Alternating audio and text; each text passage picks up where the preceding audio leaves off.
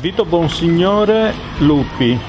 c'è un asse forte che impedisce la razionalità a favore del profitto illecito? Come viene, sta venendo fuori dalle inchieste, tra l'altro proprio nelle intercettazioni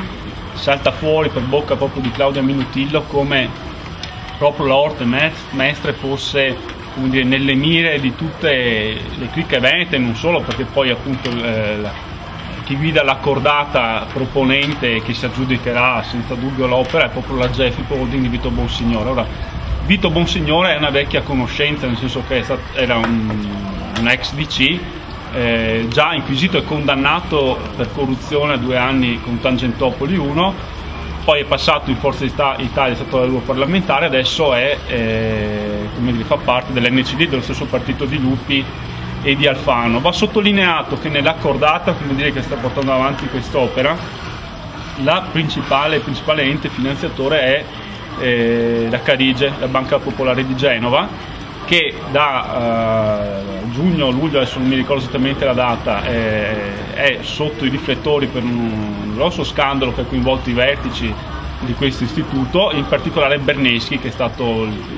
il, il patron dire, di, questo, di, questa banca e che è tuttora in, in galera. Ebbene, Berneschi è, è, era presidente della, della Carige ma anche presidente eh, della ILIA, della Infrastruttura Lavoro Italia Autostrade, che è una società eh, satellite della holding di Bonsignore e amministratore delegato della stessa Iglia è eh, tale Gioacchino Albanese eh, ex piduista eh, della Loggia Massonica P2. Quindi voglio dire, abbiamo tutti i presupposti eh, dire, per, eh, per, avere un altro, un altro scandalo Mose ma moltiplicato eh, per 10 questa volta, perché io ricordo che il Mose in partenza era preventivato per un costo di un miliardo e mezzo. Siamo arrivati a 6 miliardi per quanto riguarda l'opera, più altri 3 miliardi che fa 9 per quanto riguarda le opere eh, complementari fatte Io, naturalmente come rappresentante di un'associazione di agricoltori eh, sono assolutamente contrario a un'opera che eh, prevederebbe nel suo progetto preliminare la distruzione di circa 300-400 ettari in eh, zona, sì, solo sì. nella zona diciamo, del veneziano, per ah. cui eh, è ovvio che non ci sentiamo assolutamente, eh, non siamo assolutamente contenti di un progetto del genere. Noi già nel novembre scorso, scorso avevamo fatto una manifestazione, una manifestazione lungo la Romea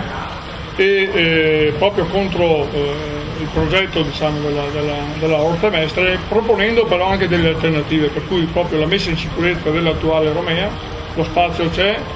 viene a costare decisamente molto meno e l'alternativa era quella per i, via- per i trasporti, soprattutto dei grossi camion, la terza corsia sulla Padova-Bologna piuttosto, cioè l'autostrada già esiste, l'impatto ambientale sarebbe decisamente minore e non c'era bisogno assolutamente di creare una nuova Abbiamo già sei sindaci che hanno votato un ordine del giorno che rigetta completamente il progetto, quindi niente di NIMBY come si usa dire, cioè eh, non, questio- non, una questione che riguardi strettamente il comune di appartenenza del sindaco in questione, ma che rigetta completamente sulla base dell'inutilità eh, dell'opera, rigetta completamente il progetto Orte Mestre. Il sindaco di Dolo ha anche recentemente scritto ai propri omologhi dei 46 comuni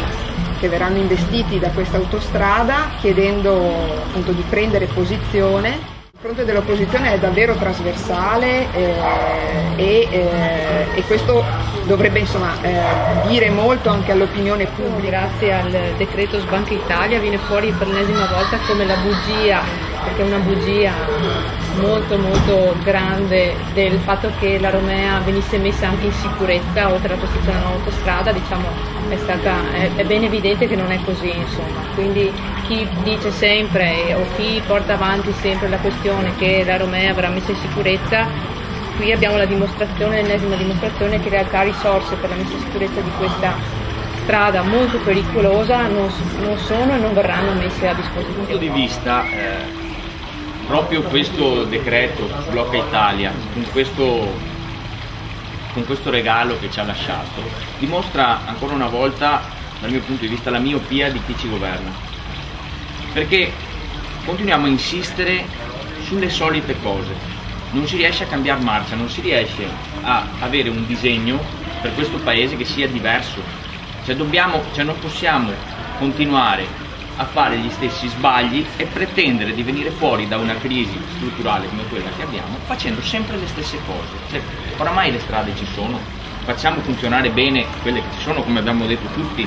cioè la Romea, mettiamola in sicurezza, quel miliardo e otto che regaliamo alle imprese, utilizziamolo, che forse ne basta anche molto meno per mettere in sicurezza quello che abbiamo e magari andiamo a, a dare dei contributi su qualcosa che può veramente sbloccare il nostro paese, cioè dare una marcia in più alla nostra A questo economia. proposito vi, vi do anche questo prospetto che è tratto dalla eh, relazione illustrativa al PEF, quindi è un ehm, Illustrativa, al PEF, al piano economico finanziario, quindi è eh, un documento dei proponenti dove risulta assolutamente evidente l'insostenibilità nemmeno grazie ai trucchi finanziari l'insostenibilità economico-finanziaria di quest'opera che nella migliore delle ipotesi nel 2033 eh, prevede un traffico medio giornaliero di eh, circa 48.000 veicoli che sono una- Veicoli equivalenti. veicoli equivalenti rispetto a un dato medio ISCAT eh, di 60.000 veicoli eh, che rispetto alle grosse arterie autostradali eh, italiane vediamo bene che è un dato assolutamente ridicolo. Quindi nella previsione stessa dei proponenti questa cosa non ha, modo, non ha alcun modo di stare in piedi.